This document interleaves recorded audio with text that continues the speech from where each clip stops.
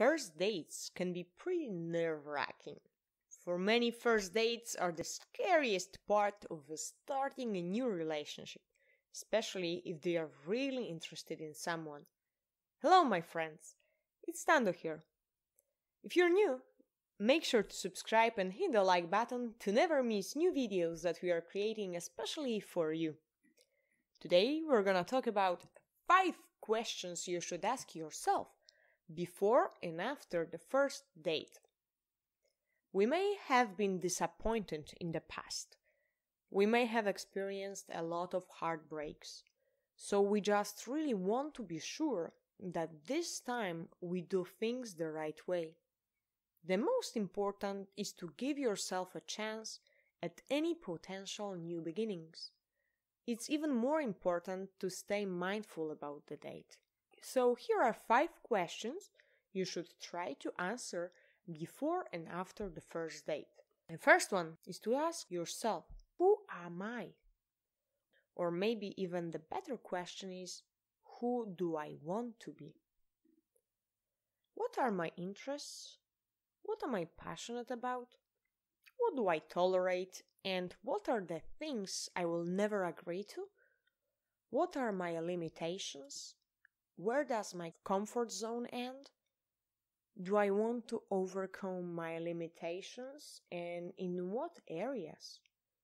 What are the steps I need to take?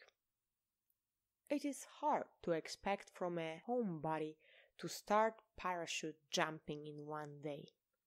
So take some time to think about those questions. Another question to ask yourself is do I know who and what am I looking for?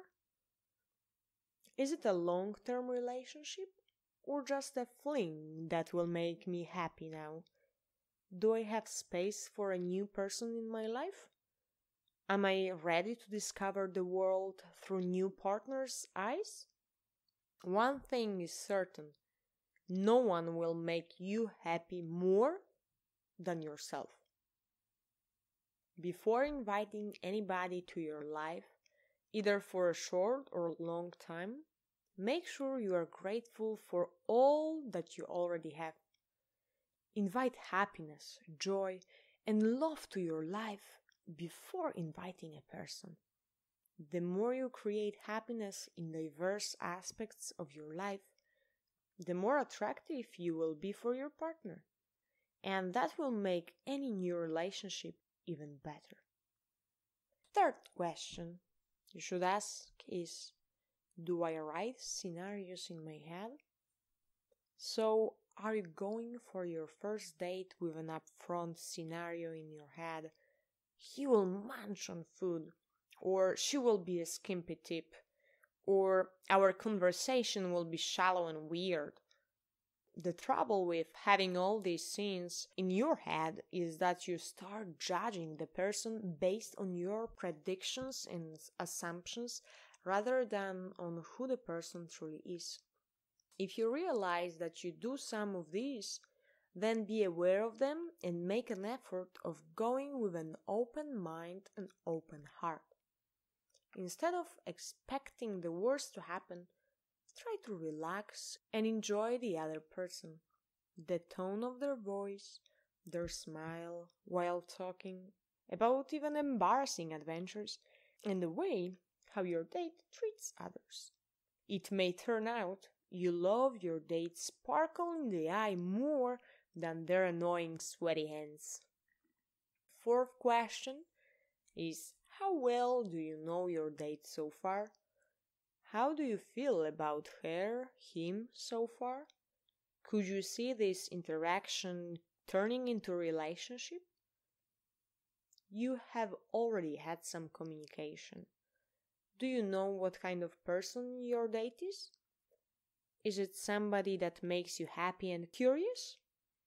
If you are not sure, maybe get to know them a little more before going on a first date. You should be aware of what you want from this experience based on how you feel. It is very important to have a good understanding of your feelings at the beginning, even though emotions might change later on. How do you like where things are going so far? Think whether this is someone you could build a relationship with. Establishing this early will help to avoid any bizarre conversations. The last questions we recommend to ask after the date was there any chemistry after all? Make sure you have your feelings checked. This is the most important part of starting a new relationship of any kind. The checklist, which can help you understand your first date, is simple. Is you feel at ease with the person almost immediately. You are comfortable just being yourself. You sense that your partner is as open as you are to new experience. You don't have the impression you're forced to become somebody you're not. Your date makes you laugh, and vice versa. Getting each other's sense of humor is a good clue to happily ever after. Out of those five questions, my friends, which one you have never thought of before? Share your comments down below with us. We're very curious to hear from you. Thank you so much for taking your time from your day watching this video. We hope you enjoyed and you learned something new. If you liked, make sure to subscribe and hit the like button to never miss new videos that we are creating especially for you. Thank you again and see you next time!